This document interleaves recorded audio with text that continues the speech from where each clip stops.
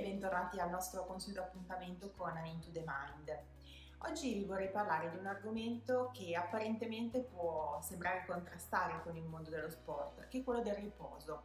Il riposo in ambito sportivo è qualcosa di estremamente fondamentale perché garantisce la possibilità di recupero dallo sforzo fisico fatto durante l'allenamento o una gara. Riposare quindi è fondamentale e va fatto anche nel modo migliore.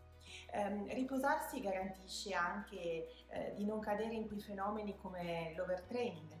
L'overtraining è eh, quel meccanismo per cui un atleta si sovrallena, pensando che allenandosi tanto e insistendo mo molto con l'allenamento, questo porterà dei benefici a livello di prestazione, ma non è così.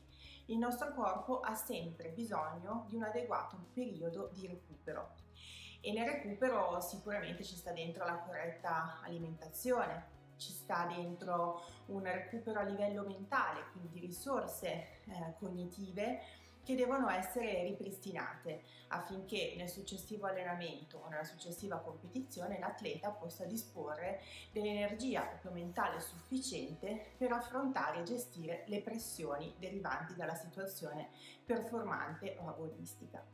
Altro elemento importantissimo è poi il sonno. L'igiene del sonno è fondamentale per un atleta che deve garantirla sicuramente in maniera particolare prima di una competizione, ma anche nella propria quotidianità. Igiene del sonno significa avere una routine eh, adeguata e ben consolidata che precede il momento dell'addormentamento. Quindi a livello proprio molto molto pratico via i telefoni, gli smartphone e i computer entro un'ora prima di andare a dormire. Questo perché? Perché la luce blu rilasciata dagli smartphone o dai computer ci attiva e quindi diventa molto difficile poi riuscire ad addormentarsi. È importante poi eh, trovare una routine che permetta gradualmente di avvicinarsi al momento del riposo e dell'addormentamento, quindi oltre a evitare la luce blu, anche attività particolarmente attivanti come può essere un videogame eh, o, o altre situazioni che ci attivano in maniera importante vanno evitate prima dell'addormentamento.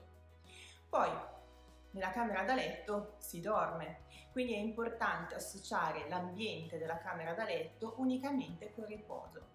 Quindi al massimo si può leggere un libro, ehm, al massimo si possono fare delle tecniche di rilassamento prima di addormentarsi, ma certamente dal letto non è utile consultare il telefono, che come abbiamo già detto un'ora prima dell'addormentamento va riposto per via di quella famosa fastidiosa luce blu, così come chiacchierare al telefono con un amico. No, la stanza da letto è il luogo dove ci si addormenta, dove ci si rilassa e dove si lasciano andare tutte le varie tensioni.